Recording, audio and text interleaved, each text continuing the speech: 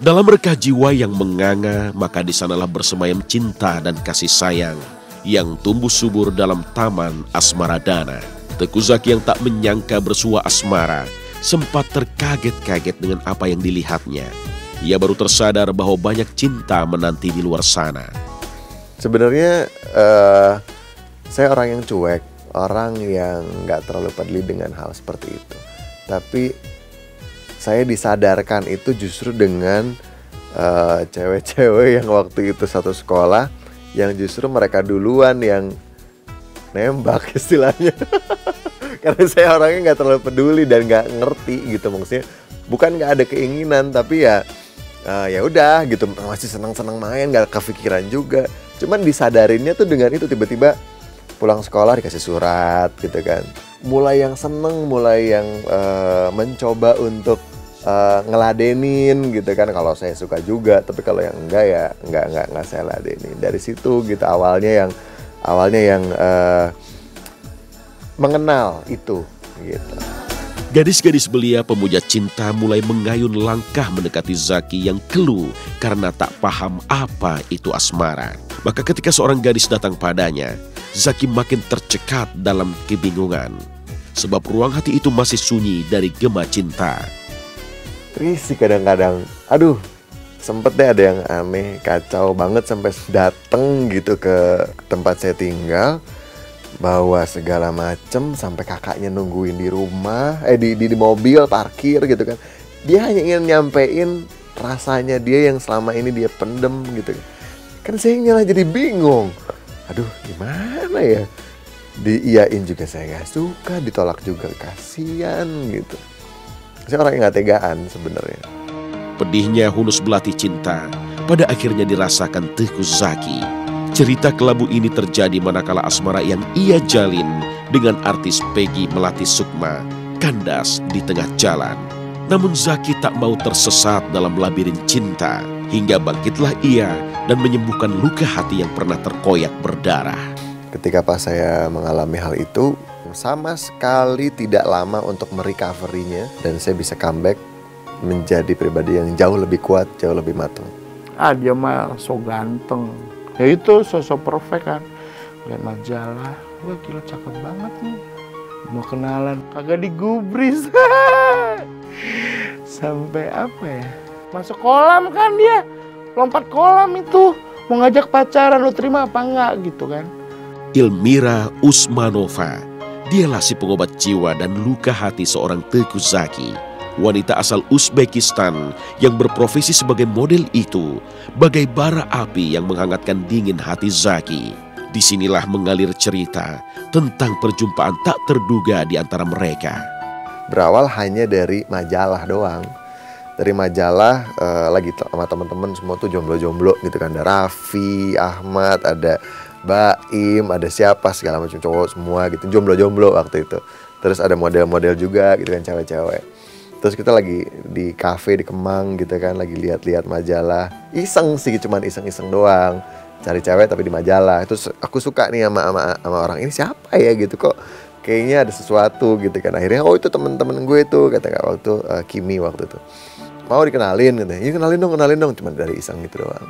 Jadi ini nomor teleponnya gitu ya udah cuma berdasarkan nomor telepon itu aja saya SMS eh mau kenalan dong? Tidak dibales. Nggak ada respon sama sekali lah gitu. Nggak tahu kenapa satu hari ketika saya lagi kongko juga sama teman-teman itu cowok-cowok semua gitu ada uh, di, di Kemang uh, muncullah serombongan model-model ini uh, dan ternyata dia diundang sama salah satu teman saya juga di situ. Rame-rame salah satunya dia. Saya lihat sih dari jauh tuh kayaknya cewek yang waktu itu gue uh, incer deh gitu istilahnya gitu kan waktu itu yang pengen gue kenalan gitu. Akhirnya nggak taunya dia duduk persis di depan saya. Ih dia duduk situ gitu kan. Oh itu itu was in Kemang. It was with my friend kan uh, we came to the Kemang uh, was sitting there kan. And then he he was also with so many friend like Bayim siapa siapa kan teman-temannya dia kan And then he was sitting uh, next to me gitu kan, and I didn't know who is he, but he was looking at me all the time. Terus aku like, uh, why he looking at me gitu kan, and I, I didn't know that he is the one who always SMS me. Then suddenly uh, he start to ask gitu kan, Are you Elmira gitu kan? Saya, oh yeah? how you how you know that my how you know my name gitu kan? And then he's like, oh I am the, the one Zaki. I'm like, oh it was you who the SMS me all the time gitu kan. Iya, habis itu kita like, oke, okay, let's keep it uh, talking talking gitu. Akhirnya saya foto bareng sama dia berdua doang. Terus uh, saya ngajak pulang dia nggak mau, saya ngajak dia mana juga nggak mau. Pokoknya yang betul-betul uh, ah susah banget deh gitu kan. Nah uh, poinnya waktu itu yang kenapa saya juga kayak ada kesempatan ketika saya SMS-an di jalan dia SM balas gitu kan. Balasnya nyesel deh nggak pulang sama kamu katanya. Aduh di situ bener-bener yang wow gitu kan dapat respon. Kenapa? Ya, soalnya saya di sini boring. Kamu mau saya balik lagi? Gitu. Sebenarnya not really because I wasn't really concentrate on in that time on him because I had another boyfriend actually gitu kan. So I I'm I don't want like to have another uh, apa namanya like conversation with another guy gitu kan. So I didn't really accept him. That's why I when he tried to SMS I'm like little bit ignore actually and that's why I changed my number. that's why we lost the contact. Mira itu baik banget. Ini Mira itu ngerti banget dan tahu banget. Walaupun gimana gimana, Jackie beruntung punya Ilmira. Wanita cantik itu memang dihadirkan Tuhan untuk Teguh Zaki. Dari hari ke hari, tanda-tanda bahwa Ilmira adalah belahan jiwa makin jelas terbaca oleh sang pria. Maka kesempatan yang datang hanya sekali itu langsung disergap Zaki dengan kemantapan hati. Karena dia orang yang susah ditaklukkan hatinya.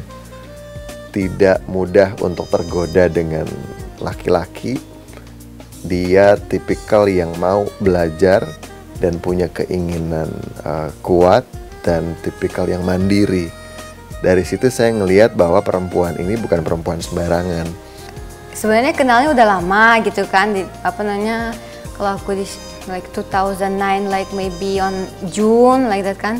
Tapi cuma SMS SMS doang. Terus habis itu udah we lost the contact And then abis itu baru uh, ketemu, I saw him first time on October. Kenal, bener-bener gitu, like already style to keep in touch all the time. It was November, tengah-tengahan gitu. Dalam tiupan sejuk angin cinta, Zaki merasakan damai yang sulit ia terjemahkan dengan kata-kata.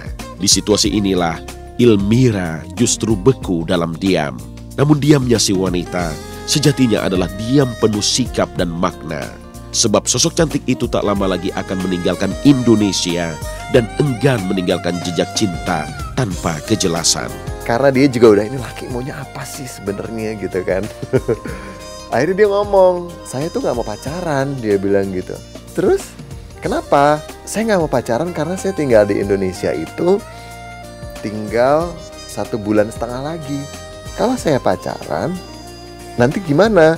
Pasti kan saya akan pulang katanya dia bilang. Jadi saya nggak bisa uh, apa bikin satu relationship yang cuma satu setengah bulan doang dan saya harus pergi. Saya nggak mau. Terus maunya gimana? Ya kalau misalnya kamu serius saya maunya nikah. Pacaran kan? Tapi pacaran gini ya tapi he was talking like I really wanna have wife like you. He always asked. Tapi I say how come I'm not that ready? And then how come you can say like that? You don't know me. You saw me just one time and then you're ready to say like that. And he's like, I don't know. I feel like I wanna, I wanna marry Tonya and I wanna have uh, like uh, like wife like you gitu kan. I said no no no I'm not yet ready. Udah kan, we start to talk about that. And then once he tried he tried to uh, like get too close to me. I want I don't wanna also in the time I'm, my mind like was like I wanna just uh, like if relationship just really serious one or not not at all. And then dia like ajak pacaran kan, aku juga pacarannya kalau nggak mau waktu itu kan. Kalau udah if you really really serious, okay you gonna uh, if you gonna serious, let's just married. Uh, detik per detiknya itu bener-bener kayak jawaban semuanya. Dari situ saya mengambil keputusan bahwa oh ini berarti benar-benar jawaban dari Allah bahwa saya harus menikah dengan dia. Walaupun waktu itu orang tua semua keluarga kaget, uh, tapi mereka tidak bisa menghalangi dalam arti. Hmm, ya udahlah kalau itu memang sudah keputusan uh, kamu gitu walaupun setelah menikah banyak banget konflik dengan keluarga bukan saya dengan istri ya tapi saya istri dan keluarga itu luar biasa banget Pada akhirnya Teguh Zaki mantap menikahi Ilmira.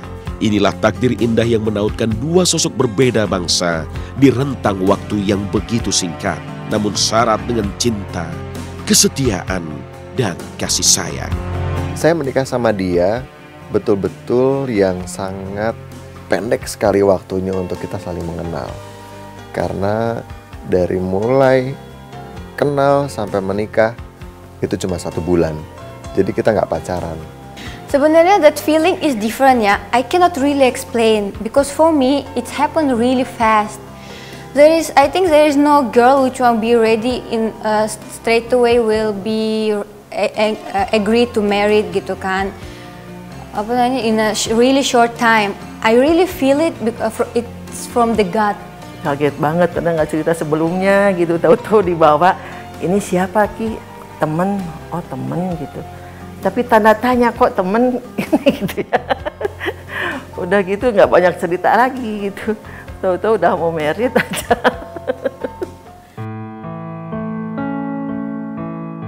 Ada hal yang saya tutupin sampai dia meninggal dia nggak tahu